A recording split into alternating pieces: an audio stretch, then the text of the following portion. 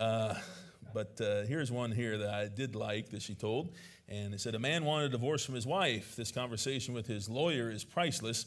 Uh, it says, A Polish man moved to the USA and married an American girl. Although his English wasn't perfect, they got along very well. One day, the Polish man rushed into the lawyer's office and asked the lawyers if he could get uh, arrangements for a divorce for him. The lawyer said that getting a divorce would depend on the circumstances and asked him the following questions Have you had any, have you any grounds? He said, Yes, an acre and a half and a nice little home on it. He said, No, I mean, what is the foundation of this case? He said, The foundation is made of concrete. He said, uh, I don't think you understand. Does either of you have a real grudge? He said, No, we have a carport, not needing one. Uh, he said, I mean, what are your relations like? Uh, he says, All relations uh, still in Poland. The man said, The lawyer said, Is there any infidelity in your marriage? Uh, he said, We have high fidelity stereo TV and good DVD player. He said, Does your wife ever beat you up? He says, No, I'm always up before her. He said, Why do you want this divorce? He said, She's going to kill me. The lawyer said, What makes you think she's going to kill you? What kind of proof do you have? He said, She's going to poison me. He said, She buys a little bottle at the drugstore and puts it on the shelf in the bathroom. He says, I could read English pretty good. It says polish remove. It says Polish remover. Sorry, I ruined the joke, didn't I? I said Polish remover is what it says, and uh, actually it's polish remover, right? So I kind of blew that at the end there, didn't I? Anyway, so that'd be great for your couples class, brother. Where'd he go? There he is. Just kidding. All right, take your Bibles tonight. Jeremiah chapter 36, if you would, please. Jeremiah chapter 36. Jeremiah 36, I'm going to read verses 20 through 24.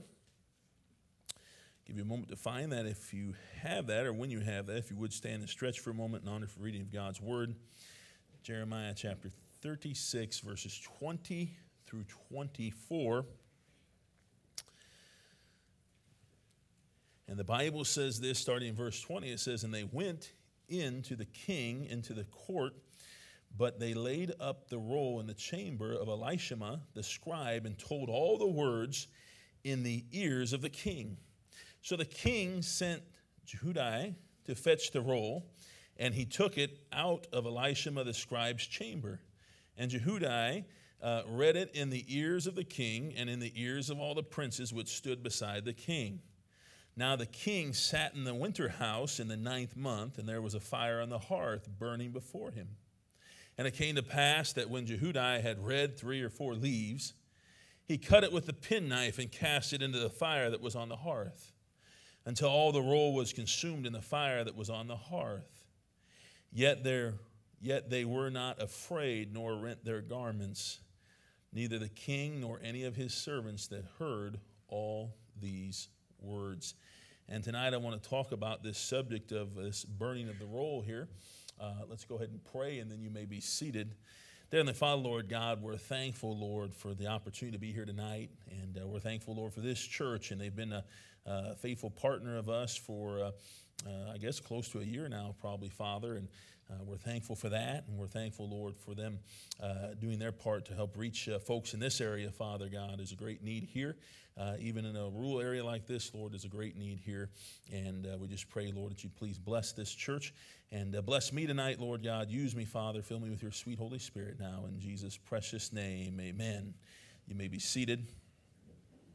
In my opinion, the story tonight that I'm talking about ranks among one of the more shocking types of stories I think that we find in the Bible uh, when it comes to a total disregard for the Word of God. And uh, let me give you the story and then give you a little application to go with it tonight. We're not going to read all the verses of it, but in verses 1 and 2, you will find uh, that the Lord comes to Jeremiah and he tells him uh, to uh, basically write down these words on a roll of a book. And, uh, and then in verse 3, you're going to find the uh, purpose uh, of these words. It was threefold. It was so the people would hear the words, so the people would return from or would turn from their evil ways, and that they would experience the forgiveness of God in doing so. That's what he tells us in verse 3 the purpose of all this is. Then in verses 4 through 9, a uh, messenger of Jeremiah named Baruch uh, starts going over all the kingdom and reading the words in the ears of the people. Now, these words were read in the chamber of Jeremiah. Uh, these were read in the higher court at the entry of the new gate of the Lord's house, that is. These words were read down in the scribe's chamber, that's located in the king's house. These words were read in front of all the princes, and these words began to spread throughout the entire palace. And then when these words reached the king's court, that's where the problems start coming in, because now they've come to the king's court. And the king in Jeremiah chapter 36, uh, King uh, Jehoiakim, uh, heard about this commotion of uh, the reading of some of the words of God and sent a servant to fetch the roll whereon they were written. And so now they have these, they bring in the roll with the very words of God on them. And uh, Jehoiakim was sitting, and we read some of the verses there in the beginning. Uh, he's sitting in the winter house in the ninth month uh, next to the fireplace. Now, when the servant gets about, uh, Jehudi, I think was his name there, when he gets about three or four of the leaves read there, as we saw in the scriptures, uh, you got the king takes his penknife and starts to cut them up. And then he just starts to throw them into the fire. Now, look at verse 24 again of chapter 36 here, because this is an amazing thing to me that's said here. It says in verse 24, Yet they were not afraid nor rent their garments, neither the king nor any of his servants that heard all these words. So here they took the words of God and the things that they heard from them, and because they didn't like what they were hearing, they cut them up and threw them in the fire. And no one was afraid. That's an amazing statement. They disregarded the entire Word of God, threw it into a fire after cutting it up, and they didn't even fear about what might happen from doing this. That's a sad state. Unfortunately, though, we can read the story and as Christians be outraged uh, by the actions of uh, King Jehoiakim and those with him and how disrespectful they are towards the Word of God. But we live in a day and time when people disrespect this book all the time, folks. It's disrespected constantly. We live in a day and time where the disrespecting of this book takes place often. And they do it in multiple ways. People disrespect this book by trying to create other versions that they call a Bible. There's so many versions of the Bible now. You have the inter, uh, interlinear uh, version of the Bible. You have the uh, NASB, which is the New American Standard Bible. You have the Amplified Bible. You have the English Standard Version, the ESV they call it. You have the Revised Standard Version, the RSV. Uh, these are widely accepted by both Protestant and Roman Catholic churches. You have the New King James Version, with a lot of people try to pass off being the same as the King James Version, which it's not. Uh, you have the New American Bible, uh, NAB they call it. You have the Thought for Thought Bible. You have the Holman Christian Standard uh, Bible or version. Uh, you have the New Revised Standard. Uh, language not updated but tends to uh, be gender neutral and political correctness uh, found in it. Uh, then you've got the New Jerusalem Bible now, NJB. You have the New International Version, of course, NIV, most widely used Bible in the USA, they say. Uh, and uh, today's NIV, TNIV, they call it, that came out in 2005. That's gender, gender neutral compared to the NIV. Uh, you have the New Century Version, uh, NCV. Uh, you have the gender neutral version published in 1991. Uh, you have the New Living Translation. Uh, you have the New International Reader's Version. Uh, you have the Good News Bible. You have the Revised English Bible, uh, most widely used Bible in the United Kingdom. You have the Common English Bible, CEB they call it. Uh, sickeningly politically correct. Uh, Bible is what it is. It's gender neutral, also, by the way. Uh, for example, Son of Man is just translated as human. Uh, and then you have the contemporary English version of the Bible, the CEV, uh, also known as the Promise 5.4 Bible. Uh, then you have the paraphrase translation. You have the Living Bible, or TLB, or sometimes it's called LB uh, version. Uh, and you have the Message Bible. And who knows how many others, because I'm sure I could have found more. That's a lot of different versions of the Bible.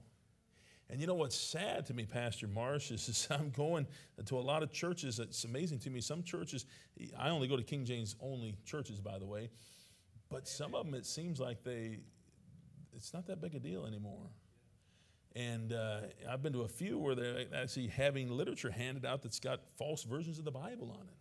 I don't say anything, I'm just there as a guest. I'm not there to grind an axe with anybody. Uh, but I'll show it to my wife, and I said, I don't understand people. I said, I wouldn't allow garbage like this to be handed out in my church when I was pastoring because I don't believe it's a Bible verse. It's not the Word of God, amen. It's been corrupted, but they disrespect, amen. And so this book is disrespected. God's Word is disrespected by trying to say, uh, just because it's been translated into something more modern English, that, uh, you know, they'll say about the old one, well, because the English is a little bit outdated, it's inferior to these. Uh, it's inferior to the Greek and the Hebrew, and somehow it's lost the uh, inspiration along the way. Uh, but the King James Bible is inspired, it is infallible, it is the inerrant Word of God, and it is the perfect of God's Word for English speaking people today. It is God's Word. And, uh, but they disrespect it. They disrespect it also by not allowing it into the schoolhouses. They keep it out of the schoolhouses, and they've been doing that for a long time. Uh, they kicked God out of the schools, and now look at what goes on in the schools. If you look at what goes on in the schools, folks, it's a mess. It is a mess. Uh, unfortunately, and uh, maybe in more rural areas, it's not as bad sometimes, but I wouldn't, uh, I wouldn't uh, take my chances on it still. Uh, but if you go to the bigger city schools, it's nothing but a brainwashing process going on there. And if you look at the news, even just the other day in Colorado, they're shooting up the schools now. Well, there's no protection there anymore. But wait a minute, they can't pray and they can't have God's word. So they disrespected God's word by kicking it out of the schools. God blessed it, us as a nation when we had the Bible at the forefront of what we did in our country. And it's amazing how we have uh, had so much difficulties come in and creeping in, and how much our society has changed ever since we took God's word and we kicked it out of the schools and disregarded it. And I, need I say, with no fear. With no fear. God's judgment's coming on our nation, folks. Most definitely, I promise you that. And by the way, God bless a 14 year old that during a discussion in class on the subject of homosexuality in a, in a public school uh, that said, I am a Christian and to me being homosexual is wrong. And, uh, and the school just went berserk when he said that. Uh, but the truth of the matter is, where did he get that idea from? From God's Word, amen? From God's Word. He had the right idea. It's a shame that there's so many out there that have the wrong idea. They have the wrong idea. And uh, you're looking at somebody who graduated from a public school system. My wife graduated from a public school system and went to a secular college when I went the first time before I went to Bible college. I was a policeman for several years before I went in the ministry. Uh, I went to a secular college, and I tell you what, I was not a uh, independent, right-wing, fundamental Baptist, but I was a Bible believer and I did use only the King James Bible. And my wife was the same way. She was a Bible believer. And, uh, and as I went to a secular college, because I was already married when I went to college uh, the first time, uh, I had to fight my way through those classes because of the things they would teach are totally contrary to God's Word. Total disrespect and disregard for God's Word, and they do it without any fear whatsoever. It's a shame. And that's why our country's in trouble. And that's why we're headed the direction that we're heading. And, uh, you know, I, I, I, praise the Lord that we have the president we have and, and the vice president and so forth. Uh, but, uh, folks, the answer for our nation isn't found in the White House. It's definitely not found in the schoolhouse. It's found in the church house. And that's where the answer is going to be found at. And so I'm thankful for uh, the things that are done uh, politically, but that's not where the answer is going to be at because I'm telling you, we're facing the judgment of God uh, coming on our nation. Uh, when you get to the point where you're uh, just totally, uh, basically going to be start killing children after they even come out of the womb, it's bad enough even in the womb because it's murder either way. Uh, but when you get to that point and you think that you're uh, not going to have the judgment of God, when you have legalized sodomite marriages in your land, you think you're not going to have the judgment of God on your country. God's judgment's coming, folks. We need to pray for our nation. And uh, praise the Lord for the missionaries. I'm going to the mission field, but I'm concerned for our own nation. I pray for our own nation every day uh, because we need God's help and we need the people of God to fall in love with the words of God again and to stick with this book. Because there are many Christians who attend churches just like this one all over our country who also, unfortunately, are disrespecting God's word. And uh, it's a shame. And I'm not talking about they're using false versions of the Bible because we go after Jehoiakim for cutting up those leaves with a penknife and throw it in the fire, and we should.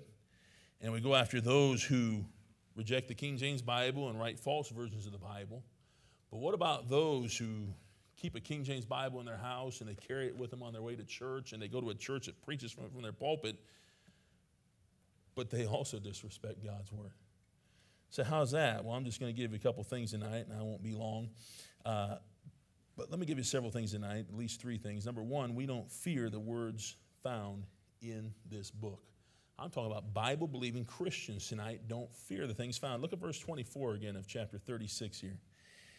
Yet they were not afraid, nor rent their garments, neither the king nor any of his servants that heard all these words. Unfortunately, there's no difference between Jehoiakim and some modern day Christians today who have no reverence for the words found in this book tonight. Uh, we have teenagers and children in our churches all across our country who do not fear the words found written in Ephesians chapter 6. Ephesians chapter 6, verse, you know what? Just, just turn over to it. Why not? It's kind of a Bible study night, right? And uh, Ephesians chapter 6 and verse 1, 2, and 3, I'm going to read you quick, but if you can get over there quick enough, we'll just go ahead and, and look at it together. As I read it, you can follow along. But Ephesians chapter 6,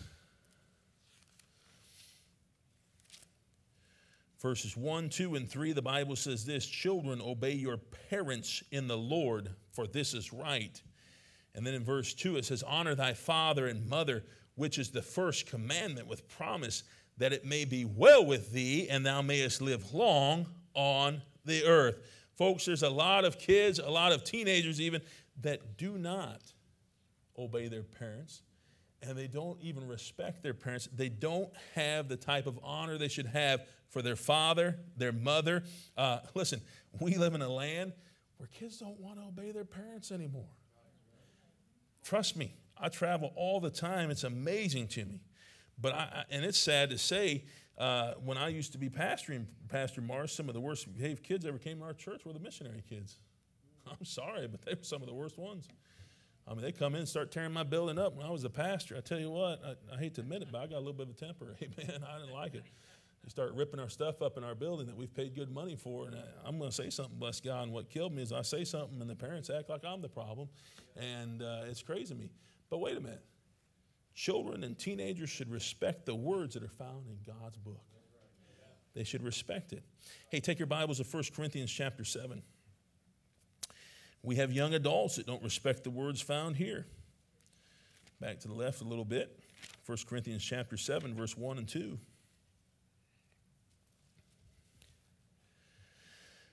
The Bible says this, starting in verse 1, 1 Corinthians 7 1. If you're not there yet, I apologize, but I don't want to drag the sermon out too long here. But it says, Now concerning the things whereof ye wrote unto me, it is good for a man not to touch a woman. Nevertheless, to avoid fornication, let every man have his own wife, and let every woman have her own husband. And uh, also look at chapter 6, 1 Corinthians chapter 6, and verse 13. Oh, you know what? You know what? Second Corinthians, sorry. Oh, no, no, no, no. We're good. It's, it's I who am on the wrong page.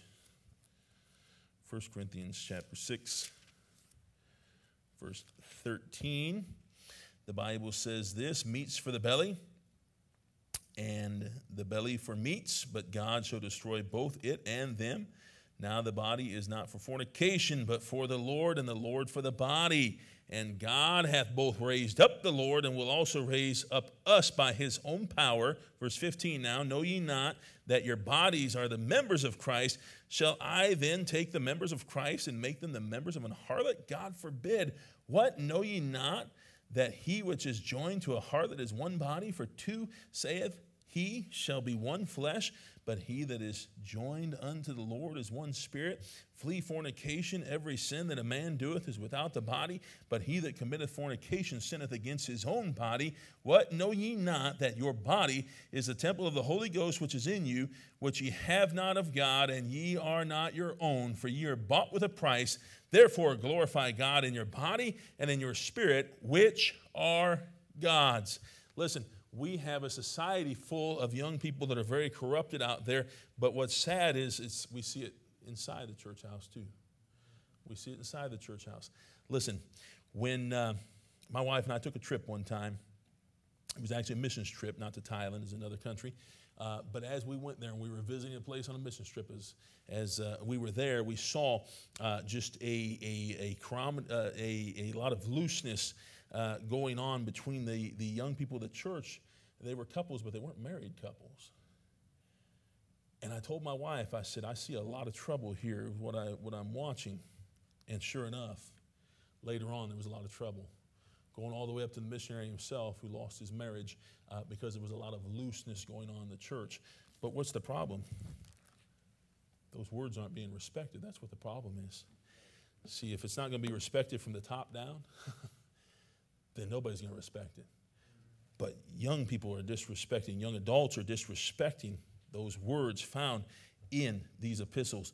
Uh, how about uh, Malachi chapter 3? You don't need to turn to it, but verses 8 and 9 uh, says, Will a man rob God? Yet ye have robbed me. But we say, Whereon have we robbed thee in tithes and offerings? Ye are cursed with a curse, for ye have robbed me, even this whole nation. Hey, a lot of hardworking Christians are disrespecting God's word in Malachi. Disrespecting the words of God because they don't tithe, they don't give offerings.